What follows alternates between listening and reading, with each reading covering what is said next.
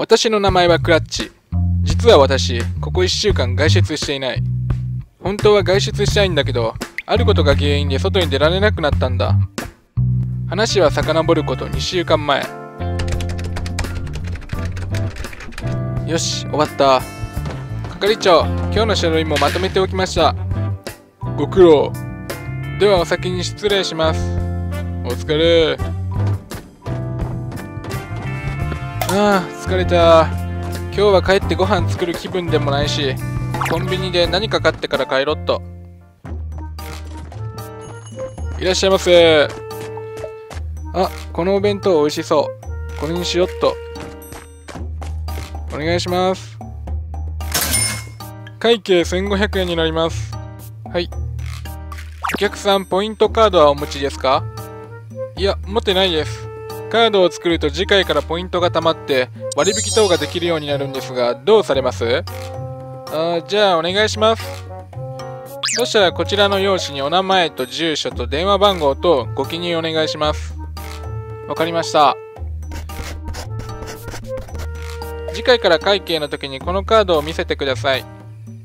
はい。ありがとうございました。あの子可愛かったなぁ店長、時間になったので上がります。ただいまって誰もいないよね。あ、メールだ。